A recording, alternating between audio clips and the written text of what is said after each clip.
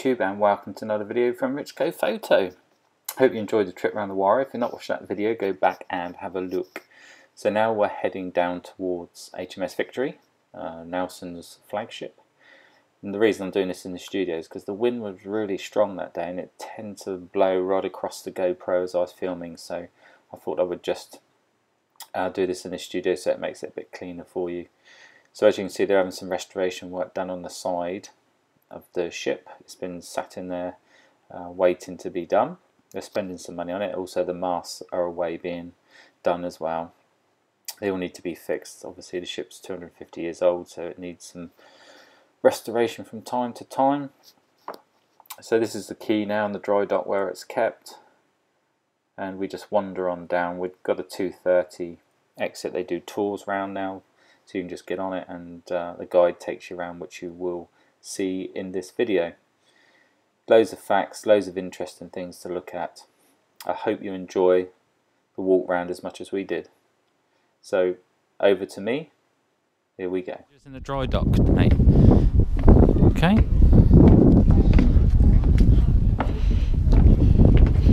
Mind your head on here, mate. Daddy does. Oh. And the Battle of Trafalgar, which she's most famous for, 1805, she was 40 years old even by then. Now, she's, uh, what I mean by commission, she's still a Royal Navy ship with a Royal Navy crew on here 24 hours a day, sitting over there watching the telly at the moment, the, the quartermaster and that. Uh, so uh, they're keeping themselves busy. but it is Sunday afternoon and there's not much else to do for that. But they look after the ship, do rounds all the time, fire watch, things like that. We're the flagship of the first Sea Lord. So the top man in the Navy, so there's a lot of ceremonial stuff goes on here, dinner parties, medal ceremonies and that. We've had three Chinese ships in a week, and there was a lot of diplomatic stuff going with that as well. So a busy ship. Um, even after the Battle of Trafalgar, 1805, they still refitted her, and she still carried on another seven years active until um, 1812. 1812, they brought her into the harbour. She sat out there for another 110 years until 1922. By 1922, she'd been 157 years in the water and she was getting in a poor state underneath. And so they brought her into this dry dock and from 1922 to 1928 restored her as you see her now, as she looked at Trafalgar in 1805. After 1928, when we reopened it, we've had since then, we've had over 25 million visitors through here. So it's a busy old ship, you know, there's a lot of people sat here, haven't they? Um, Battle of Trafalgar took place off Cape Trafalgar, which is about halfway between Gibraltar and Cadiz in the uh, down off Spain and the, the Atlantic. There it was the time of Napoleon. Napoleon was invading all of Europe. He wanted England as well. In fact, if he'd won, we'd be doing this in French now, wouldn't we? Which is not such a good idea. And uh, so. Um, uh, we chased the battle, we chased the French fleet. The, the, the Victory was the, the, flagship of the Mediterranean fleet in the two years leading up to Trafalgar with Nelson on here. We've been chasing the French fleet out of Toulon in southern France all the way around the Mediterranean, through the Straits of Gibraltar, over to the West Indies, didn't catch them there, back to the port of Cadiz in southern Spain where we were blockading them, where they joined up with the Spanish fleet. Eventually, Villeneuve, the French admiral, was told by Napoleon to bring his fleet out into the Mediterranean. They made a run from it, and that's where the Battle of Trafalgar happened. Um, if we hadn't won that, as I say, we'd be speaking French. Ten years later, the uh, Battle of Waterloo, where Napoleon was defeated, and uh, uh, that was 1815, 1815 to 1914, the First World War, 99 years of relative peace in Europe. so, it'd be an important turning point in British history. So, as we go around, watch out for the beams. These things come down to below my shoulder height in places there. Lanterns, things like that as well. Uh, just watch out for those. A little bit slippery on the upper deck in places, and we've got ring bolts up there. So, watch your head. So, we're in the great cabin there. This is where Nelson spent over two years before Trafalgar. Uh, this is still used for dinner parties, medal ceremonies, as I said. Um, in the in the glass cabinet there is the current First Sea Lord ceremonial sword. That was Sir George Zambellas, is the um, is the First Sea Lord at the moment. This is his ship. And uh, imagine though going to sea with this lot laid up wouldn't last for long, would it? Rocking and rolling around here, there. So um, this table breaks into leaves, into sections, and this would be all folded up, put in the hold, along with the chairs. There's a folded up one at the end there, wrapped up in canvas, put in the hold for safekeeping until they got back into port. Once they, this was all clear, we had four guns in here. These aren't just windows, they're gun. There's the pulleys for the ports and the shackles for the guns, four 12 pounders. We had 104 guns on this ship. So this would be as clear in here in battle as it is out there, so completely stripped. 821 men on here at the Battle of the Trafalgar as well. So just think of that as you're going around. And this was all for one, the Admiral. This was built as a flagship to carry an Admiral to command a fleet. And uh, of course, um, the Admiral got all this space. Most of the crew got 16 inches, about half a metre of hammock space each. So it did pay to be an Admiral, didn't it? Once this is all clear, the panelling as well is all hinged. This one, this section here is up. That can drop down and subdivide this room here. And the ones behind you, you see hinges on those as well. So in action, everything would sweep out the way, clear the decks for action. Back here in the day cabin, the Admiral's office, the little round table's an original piece that actually belonged to Nelson. Uh, they believe he wrote his final prayer on there before the battle. Two little doorways leading out to quarter galleries out the back there. Uh, just a little room out there with a, a box with a hole in it. Uh, what we call a seat of easement. A loo with a view, okay? yes, the admiral got his own special, um, and uh, the captain, captain above, the wardroom below, they all got their own special um, conveniences there. The men had the heads, the head of the ship. Still call them, you know, in the navy the heads nowadays. That's because it's sitting outside, right out in the open. Sit there on a rough day, you get your own back.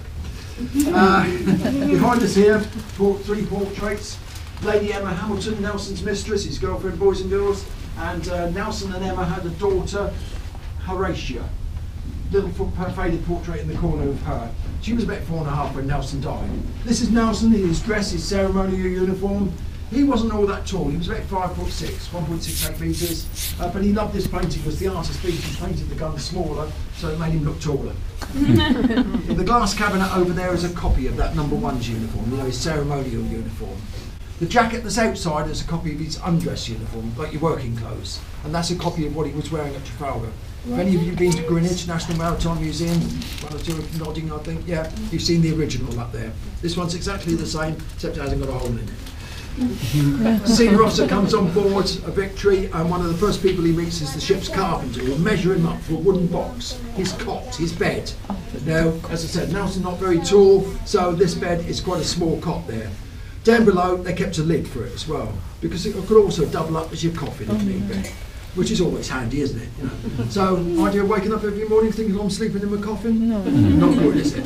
So, what happened is uh, Emma um, embroidered drapes to go over it to make it feel a bit more homely. So, you're going to lead off through that way now and go and see the cots, and then we're going up onto the upper deck. That's what he slept in. Mm. Looks like a for a kid, doesn't it? Doesn't it That's his uh, bed. It does look like a baby. I sit in the toilet. So we're now on the quarter deck. This is like the bridge on a modern ship, you know, where the officers would be up here. And uh, this little short deck behind us here is the poop deck. We're allowed to say poop on here, kids. It's nothing rude. yeah, it's nothing to do with the buckets. Comes from a Latin word, puppis, meaning upper, uppermost and aftermost. But that's the signal and navigation deck. And from there, before the Battle of Trafalgar, Nelson raised Turning me round. Signal, England expects that every man will do his duty. Along the rail there, leather fire brackets with the uh, cipher GR George Rex, George III, King of England at the end at uh, that time. Any Americans here? No? Oh, that's a shame. I always like to point out it's their last king. they like that, not a lot. and uh, below the poop, we got the ship's wheel. Now, that took four to eight men to handle that, depending on the weather. That's why you've got the double wheel. In front of it, the binnacle with a couple of magnetic compasses, and so the men were given a compass bearing to steer. Under the poop, we got three cabins. Right back aft there is the captain's quarters. Captain Thomas Masterman Hardy took captain of the Victory at Trafalgar, and he was six foot four. Oh, almost two metres. And there's a skylight in there. It's the only place he could stand upright in his own cabin. So they weren't all short in those days. Drives us nuts with everybody coming on here thinking because the decks are low, they're all short. A couple of inches maybe, nothing much. The decks are low for stability. Hardy wasn't the tallest man on the ship. They reckon William Bunce, the carpenter on here, was six foot seven. And so, you know, I'll show you where he lived later. This is, you know, this, this height. so, um, yeah, um, decks, you know, you've got all this top weight, so you need to keep it low for stability. Over on the right hand side, Thomas Atkinson's cabin, the uh, ship's sailing master and navigator, and on the left hand side, John Scott's cabin. John Scott, not a very lucky man, the Admiral's secretary, he was cut in half by a round shot on this quarter deck at the Battle of Trafalgar. If you go to Greenwich and see Nelson's jacket, underneath is his white breeches. Well, Nelson didn't have an exit wound, but these breeches are covered in blood. That's from Scott being cut in half in front of him. They just picked up the two bits, flung them over the side. Oh. What they did with British casualties in action. Yeah. There, the Battle of Trafalgar, Monday 21st of October 1805. Um, 60 big ships like this in the battle. 27 major British, 33 French and Spanish. So a massive, great battle. Victory with Nelson on board was leading one column through the uh, lines. Admiral Collingwood on the Royal Sovereign leading the other one through. And the Victory had cut through the line, was closely engaged with the French ship called the Red, Redoutable, uh, Redoutable as we'd say right up against us here, right alongside. This is our mizzen mast, the backmost mast. The French ship's mizzen mast was here, and from the fighting top, sort of that height, up on the French mast there, French musketeers were peppering this deck with lead musket balls, like this little one here. Not very big, but it's quite heavy. They were making the right mess of this. It wasn't a healthy place to be. Captain Hardy, Admiral Nelson pacing up and down on the deck. Nelson got to this spot here. He turned and he got hit from above by a musket ball, which through his shoulder, through his lung, into his spine. Fell down here, mortally wounded. Um, he said, I'm shot through, you know, he, he knew he was for it. Carried down below by Sergeant Secker of the Royal Marines, a couple of able seamen. He died three hours later on the orlop deck below the waterline. The battle with the Redoutable still continued. They tried to board us over the forecastle. We tried to, we fought them off. Um, later on, the Temeraire, another British ship, came along on the other side of the Redoutable. Between the Victory and the, and the uh, Temeraire, we forced the Redoutable into surrendering. And the battle still continued. So what we're going to do now, we're going to head off down this way, go right to the forecastle and down onto the next deck. And we're going to talk about my favourite subject, kids. Do you know what that is? It is punishment. so, who's been naughty? Yeah, this one. no, we got a lot of volunteers. Put your hand up. yeah, so you and one of you. Yeah, this Yeah, one here. this one. Come over here then. What's your name?